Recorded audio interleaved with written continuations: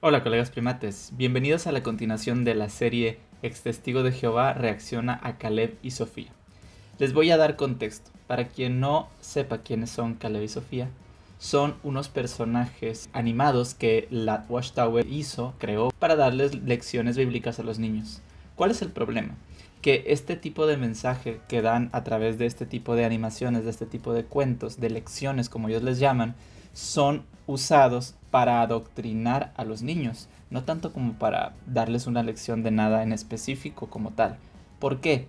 Porque en el mensaje dentro de las enseñanzas que quieren mostrar en esos videos vienen mensajes muy oscuros y bastante perturbadores.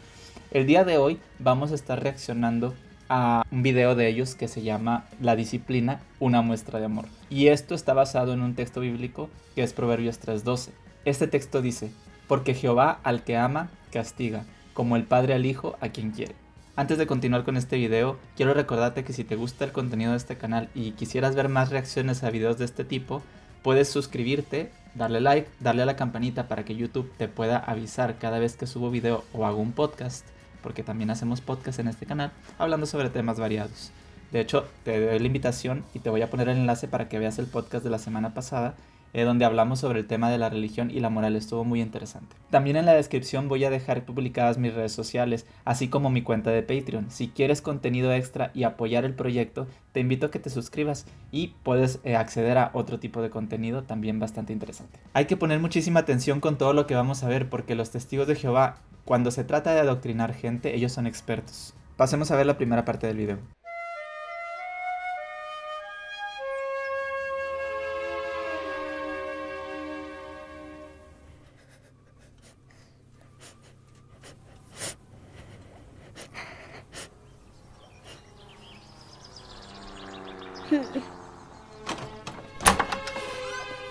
Caleb, ¿por qué no sales a jugar? Papá me castigó. Ah, bueno. Mm, Papá te quiere mucho, aunque te ponga un castigo. ah, Entonces, ya que plantean la situación, viene algo bastante interesante, que aquí es donde les comento que usan ese tipo de trampas para, para poder engatusar a los niños y meterles ideas que no tienen nada que ver con el mensaje que quieren dar. Y tomando en cuenta que este contenido va dirigido a los niños, es decir, un tipo de público que todavía no está en la capacidad de identificar trampas o retórica que pueda engañarlos para conseguir su objetivo. Y ahorita vamos a ver por qué. Oye, ¿te acuerdas cuando plantamos el árbol? ajá.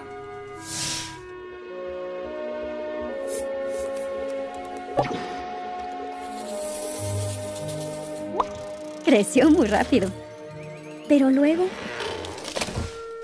Se cayó. ¿y qué hizo papá? Lo amarró. Exacto.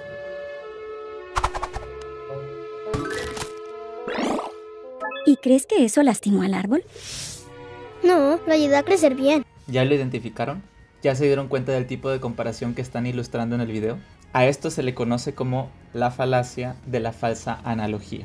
Es decir, tú presentas una situación que aparentemente es similar a otra que quieres ilustrar y quieres explicarla con la misma. El detalle es que aquí están comparando el hecho de que un árbol, tal vez porque haya sido mal plantado, por condiciones climáticas o cualquier otra cosa. Por un lado tenemos a Caleb que tal vez en la historia hizo alguna travesura y su padre lo tuvo que corregir castigándolo en su cuarto. Y por otro lado viene su madre que de hecho tiene la personalidad perfecta para ser la villana de un cuento. Pero de esto nos estaremos dando cuenta en otros videos donde vean cómo se comporta este personaje. Pues bien, viene la madre a hacer una comparación entre esta situación y la situación de un árbol que se derrumbó por alguna razón, ya haya sido porque fue mal plantado, por alguna condición climática, e intenta hacer la analogía tomando en cuenta que porque tuvo que intervenir el padre en la situación es lo mismo que haber corregido al niño, cuando realmente no tiene nada que ver. El error o la falacia viene cuando aparenta ser algo que lleva al mismo resultado,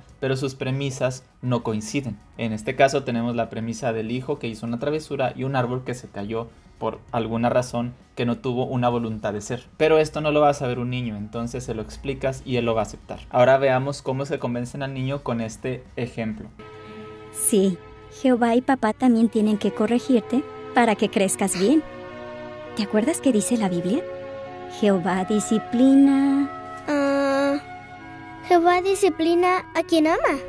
Ok, y aquí viene las palabras mágicas. Jehová disciplina a quien ama, que es el texto en el cual está basado este video. Pero tomando en cuenta que los testigos de Jehová se jactan de ser muy bíblicos y aplicarlo al pie de la letra, vamos a ver cómo Jehová disciplina a aquellos que aman. Por un lado tenemos, por ejemplo, al castigo que recibió el rey David, el cual, después de haber sido perdonado por Dios, a pesar de que Dios lo perdonó, pues lo castigó de ciertas formas. Una de ellas, por ejemplo, fue haber mandado a un profeta a decirle que la espada jamás se apartaría de su casa.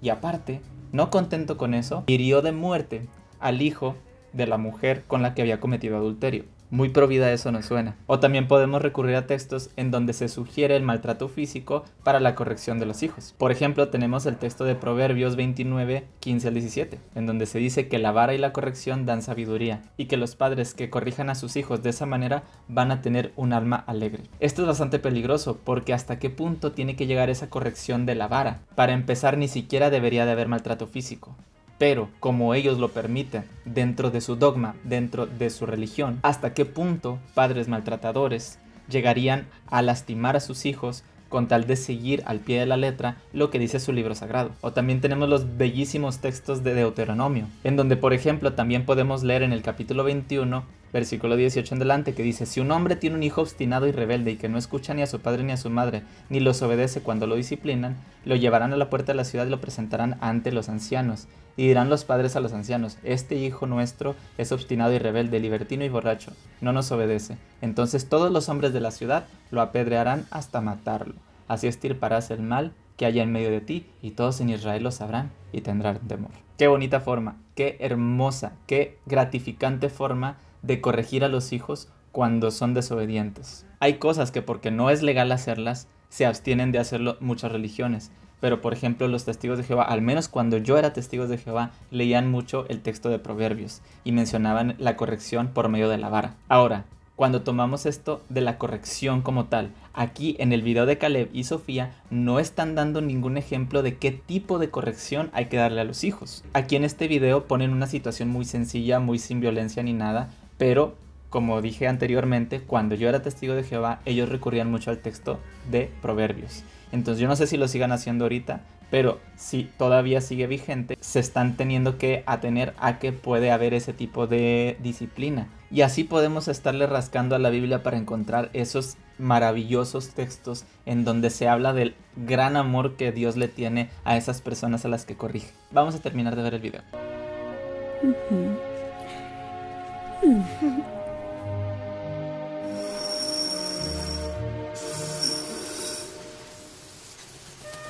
¡Eh! Ah, Caleb. Te quiero, papá. Si me disciplinas tanto, es que me quieres mucho. sí, Caleb. Mucho. Y ahí es donde viene la justificación.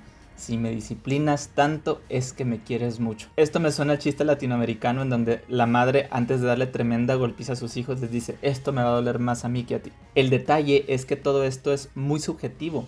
Ellos no tienen un medidor de hasta cuándo hay que disciplinar.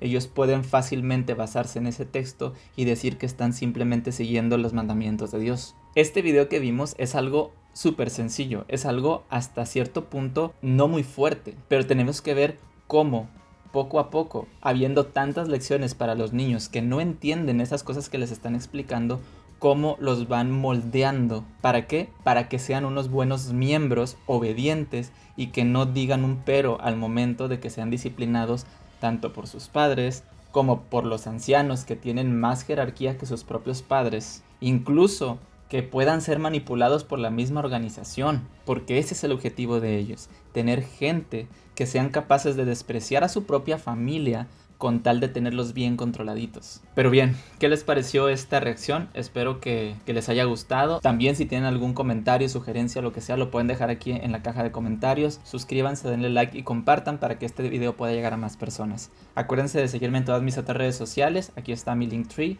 o si quieren apoyar un poquito más, ahí está Patreon. Recuerden que este es el segundo video de una serie bastante larga que voy a hacer reaccionando a videos de Caleb y Sofía. Entonces esténse pendientes. Gracias por todo, colegas primates y nos vemos a la próxima.